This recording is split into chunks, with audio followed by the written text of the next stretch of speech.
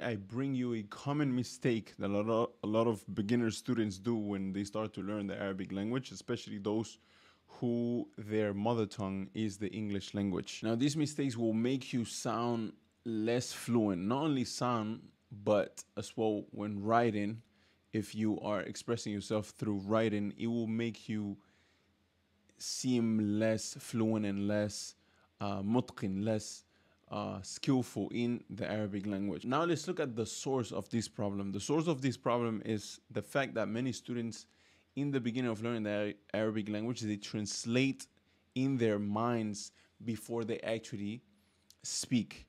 So, for example, in the examples of he came and spoke to me, okay, a very simple sentence, he came and spoke to me, they would say, هو جاء فكلمني or they would say I will go and come back أنا سأذهب ثم أرجع or they would say she called me and said هي اتصلت بي and so on so on so on uh, mentioning the, the the ضمير before every sentence or before every fi'l before every verb it makes it sound repetitive the reason why is because the verb itself if if you say اتصلت that verb it already holds the meaning of she called me. So I don't have to repeat the she. The same as if I say jaafakalemani that verb already holds the meaning of that pronoun of he. So I don't have to say he as in huwa ja'a because now I'm repeating the damir, the pronoun twice.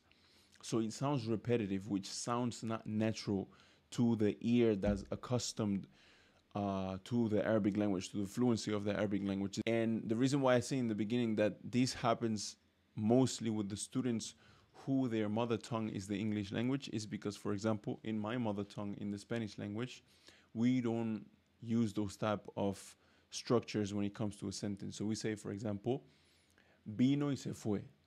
We don't say él, which is the pronoun for he we say vino straight away. And this is another, uh, you know, evidence that the Spanish language, uh, you know, they took a lot from the 800 years that the Muslims and of course the Arabs, um, you know, were living in the I- Iberian Peninsula, which is today the Spanish uh, Empire. So that was just a side note for the fa'ida.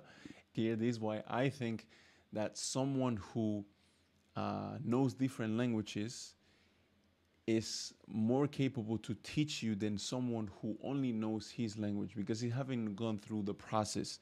It's just like, you know, a person who have, uh, you know, gained his spot in the NBA. It's not like the the son of LeBron James who was full of plugs and he just needed to be a little skillful and get a few opportunities in the league through his father is not the same the one that came from the gutter than the one that actually achieved it. So so i feel like the the program that i have designed under the institute is very useful for the student who's starting from zero from the very beginning. And the reason why is because i know what you're struggling with and i know why you're making that mistake.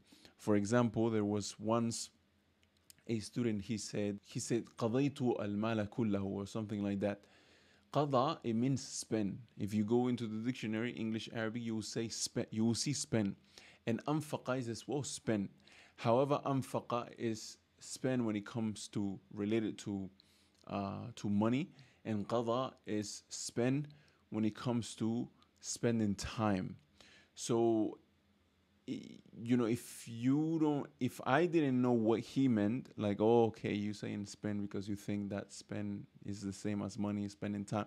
If I didn't know that, it would have take, maybe he would have lost that faida. Maybe he would have, the teacher wouldn't, wouldn't even have given him the the faida, that benefit, because he wouldn't understand where, why he's making that mistake, or maybe. Um, you know it would have take it would have taken him uh, you know month for for him to realize like oh, okay so qada means these and anfaqa means for these other contexts etc So, um, so that to say that, uh, Alhamdulillah, I take pride for what we have built with Andalus Institute. I highly encourage you guys to check it out. You don't lose anything. The worst that can happen is that you leave with three or four or five benefits after watching the presentation that I have prepared uh, through the link in the bio, which explains basically how I became fluent in the Arabic language myself in the space of uh, a year. Uh, so yeah, I highly encourage you to check that out. And inshallah, I'll see you guys on the other side. Assalamu alaikum.